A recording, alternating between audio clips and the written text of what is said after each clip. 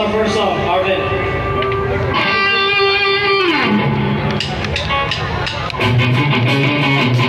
Put your hands together,